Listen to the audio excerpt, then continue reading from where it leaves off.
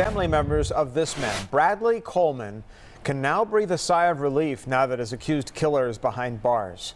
It's been nearly two weeks since the beloved teacher and coach was gunned down. It happened at the QT in Peachtree Corners on a busy Sunday afternoon. Fox 5's Tyler Fingert reports. It's been nearly two weeks since Bradley Coleman was shot and killed right next to this QT air pump. His family is now getting some closure with the arrest of his accused killer, and it's giving them peace of mind.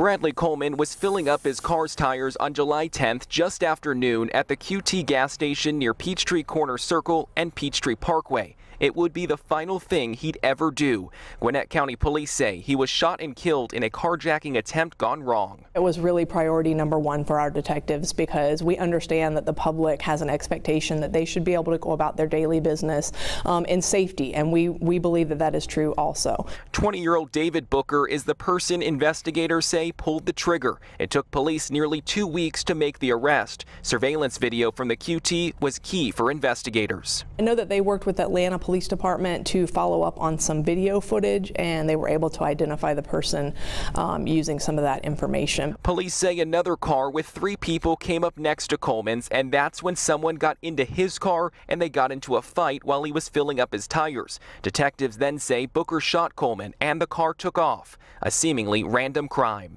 This incident was a very unusual circumstance, and anything that makes our residents feel unsafe while they're in the county, we look at very seriously. Bradley was a beloved teacher and coach in New Orleans and was in town visiting family when he was murdered. A family member tells Fox 5 they're grateful police were able to make an arrest, but didn't want to go on camera as they process this latest news. Last week, Coleman's aunt spoke to us as police still search for the person responsible. Just horrible, just just horrible, you know, um, just complete devastation.